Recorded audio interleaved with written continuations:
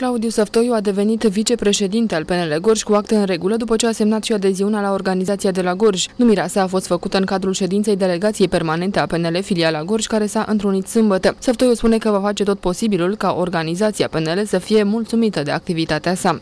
Dacă e cineva împotrivă, să ne spună punctul de vedere. Bun, noi vă mulțumim. Acum, Claudiule, pot să spun Claudiule, nu trebuie să-ți mai spun domnul Săftoiu. Și vreau să spun că spuneai că vei bate mai des. Te anunț că joi la ora 5 este ședință de birou. Vin. la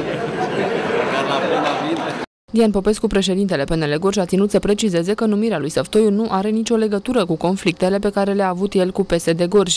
La ședința delegației permanente a PNL, filiala Gorj și-a făcut apariția și deputatul Radu Stroie, venit pentru validarea în funcție a lui Claudiu Săftoiu.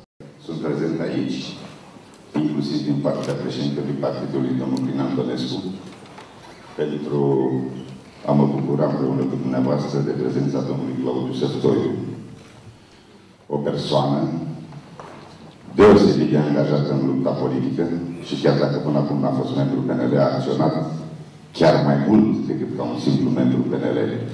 Proaspătul vicepreședinte al PNL Gorj, Claudiu Săftoiu, spune că nu exclude o candidatură pentru alegerile parlamentare de anul viitor, dar prioritară este realizarea unei relații bune a organizației cu centrul.